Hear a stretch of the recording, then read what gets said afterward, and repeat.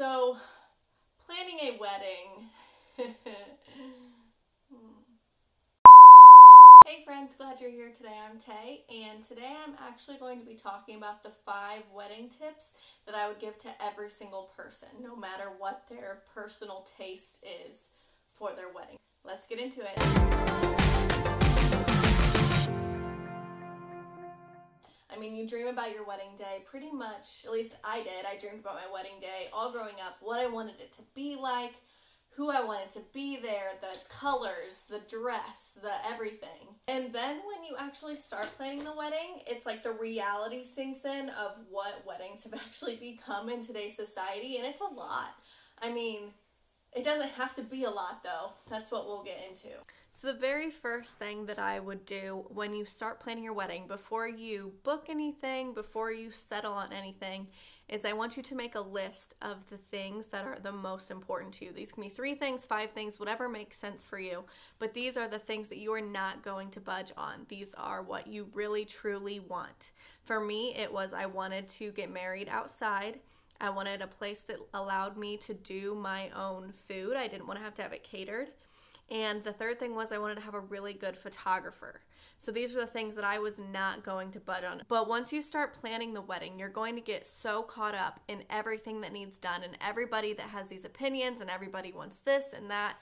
And if you have this list of these are the things that I am not budging on, it's a lot easier later down the road to make sure that you don't stray from that. Because I know that there were things at the beginning that I said, there's, I for sure don't want that. And then all of a sudden, you know, six months later, that's what I'm doing. And there isn't always a good reason, it's just getting wrapped up into everything. The second thing that I'm going to tell you is actually something that probably doesn't necessarily make sense to you right now, but it's going to be that to spend time with your significant other, purposefully, intentionally spend time with them on the day of the wedding. And that is because it everything's just going to be going so fast and you're going to be making sure that you know you have the first dance and then you have the cake and then you eat and you talk to everybody and you know sometimes it can just be such a blur of a day and then at the end of the day you're like wow hi i haven't seen you. And so the best advice that i got before our wedding day was to intentionally spend time together whether that's you know going outside for 10 minutes and just talking or um, whatever it may be just make sure that you spend intentional time before the end of the night. The third thing is that when you were at the reception Take time to eat the food that you are paying for. Once again, everything is just such a rush and such a blur. And if you don't sit down and make yourself eat, you're just going to get caught up in somebody talking to you or somebody wanting your attention over here. And you're going to be starving. Believe me, you're going to be starving. So please make sure that you eat and preferably eat before the ceremony. I actually skipped lunch and then um, was just absolutely starving right before the ceremony started. And so I really wish that I would have planned um, food better throughout the day. The fourth tip that I'm going to give you is going to be really hard if you're having a really large wedding, but it's to try to say hi to every single person that comes to your wedding.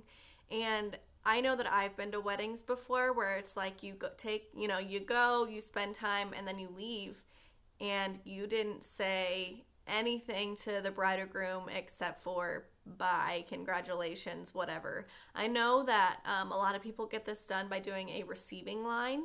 Um, which, if you want to do it that way, that's fine. We didn't do it that way though. We just went around after we ate our food when everybody else was eating. We just went around to each person's table and we were able to talk to them that way. And it was actually really nice. And it was one of my favorite parts of the reception because I just got a chit chat and um, I didn't feel bad because there wasn't a line of people waiting to sit down. And so I just liked doing it that way. Now, the last and final tip that I'm going to give you is that absolutely no one, no one cares about your wedding as much as you do. I know there were so many things that I got all wrapped up in and that I just had to have or I had to do. And nobody cared. Literally nobody besides me cared. Most people didn't notice if there was something, and there's probably going to be something. If there's something that goes wrong on the day of, people don't know how it was supposed to be in the first place, so they're not going to notice. If something doesn't work out, just scrap it and it's fine. I know that one thing that happened at our wedding is that I had um, an outdoor ceremony, so I was walking and it was super windy that day. And originally, I was going to have a curtain at the back of the ceremony site, and that is what was going to hide me until like my reveal when I came into the came into the aisle. Well, it was so windy that my curtain wouldn't stay up. It kept blowing over. So last minute, we went and got a golf umbrella out of my parents' car, this huge polka dot umbrella, and my dad actually just carried it in front of me and hid me until we got to the end of the aisle and then he dropped the umbrella and we went down and it actually I like thinking about it now. The pictures are funny and it still had the same effect and literally everyone thought that that is what we originally planned to do. And it it was fine. I was distraught when that curtain kept blowing over and it didn't matter. It didn't matter at all. And so just keep that in mind that you care way more than anybody else does.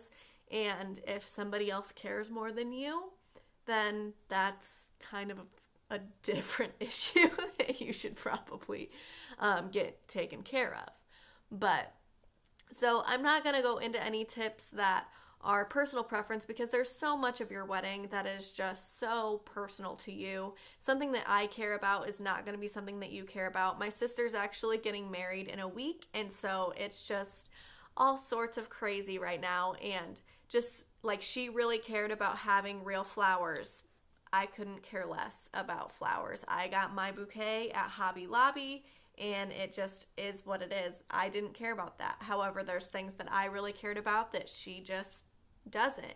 And so anything else that I would have to offer would be all opinion based. So these are just my five tips to every single person getting married that you can apply no matter what your um, what the theme of your wedding or the personal choices that you make about your wedding are.